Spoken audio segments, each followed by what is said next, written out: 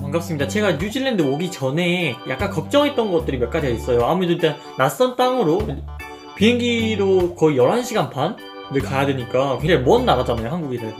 한국에서. 그래서 제가 좀 저한테는 좀 미지의 세계라는 느낌이어가지고 또 미국이라든지 아니면 뭐 일본, 중국 이런 나라는 많이 들어봤어도 뉴질랜드라는 나라에, 나라에 대해서는 관심이 평소에 없던지라 그냥 자연이라든지 그런 거에 유명한 나라라고만 생각을 했었어가지고 거기는 과연 거기가 좀 인터넷이 빠를까라는 생각을 했어요. 그냥 지금은 아니지만 약간 시골 느낌만 들었거든요. 저 그때 당시에는 물론 그게 아니더라고요. 근데 그래서 인터넷이 과연 4G만 할까 하는데 역시 아니더라고요.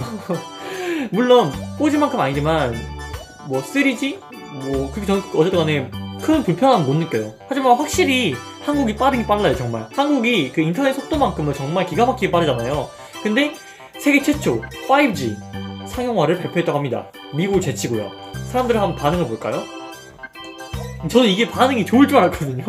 근데 어, 최초가 밥 먹여주는 건가요? 경제상 이익이 있는 거지. 그죠? 솔직히 큰 그래도 좋은 거 좋은 소식 아닌가요? 약간 좀 너무 비꼬시는 것 같은데. 보도 자료 등의 최초로서 인용되는 것부터 reference가 생기니까요. 상징성 있죠. 홍보비를 계산한다면 경제상 이익이 어 엄청나겠죠. 어 그렇게 생각할 수도 있네요. 맞네요. 이런 타이틀도 중요하겠죠. 아이고 의미 없다.